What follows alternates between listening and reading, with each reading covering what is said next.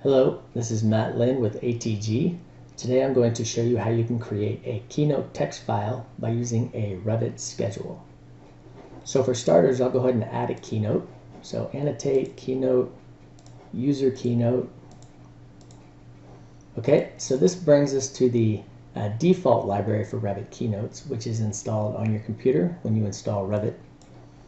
And you can see it has all the divisions and uh, under the divisions you can uh, see more text notes. So it goes from masonry to common work results for masonry. Or you can bring it deeper down to masonry mortaring, grouting, anchorage, or you can get down to uh, specifying the actual type of mortar. Okay, but that's not what we're going to do today, so I'm going to cancel out of here, which is the out-of-the-box version, and I'm going to show you how you can create the, tech, the, excuse me, the Keynote text file with a Revit schedule. So I'm going to come to View, Schedule, Quantities, and I'm going to pick um, a Detail Items, and then I'm actually going to do a Key Schedule, which is this button right here, and I'll change it to call it just Keynotes. Same thing here, I'm going to change it to Keynotes and say OK. You can see a key name is a default field, uh, and I'm going to add comments as well. So with that, I'll just go ahead and say OK, and it produces our schedule. So I'm going to pull this out. So with key schedules, you have the ability of inserting data rows right here. So I'm going to go ahead and do that. I'm going to do 20 or 25 or so. Okay, so now I'm going to, let's see, we'll call this Keynote 2. Now we could keep going by saying uh, Keynote 3, Keynote 4, Keynote 5, but I'm going to use a special plugin called Spreadsheet Link to streamline this process. So if I come here, go from categories to schedules, because we already have the schedule. I'll bring in the keynotes like so.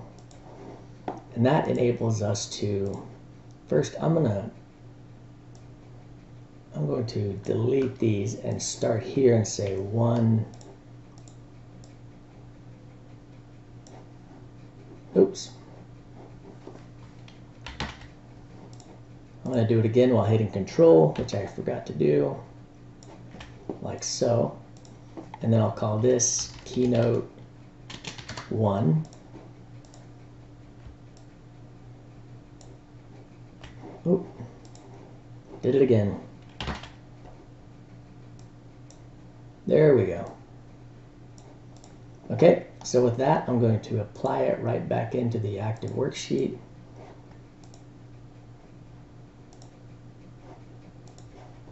And you can see it's populated all of those right here.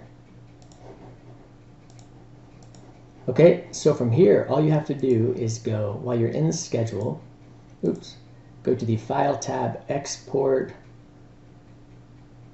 to um, Reports, Schedule, and then you can save it. I'll, I'll put it right here on my desktop for now, and we'll just call it keynotes.txt and say Save.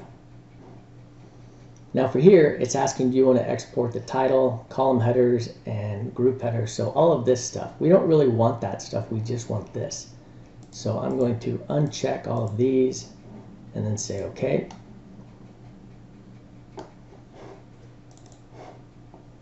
And so that has been saved on my desktop, which you can see right here.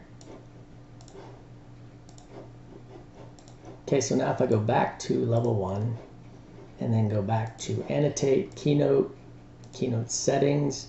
I'm going to browse to my desktop. And here's the new uh, text file we just made.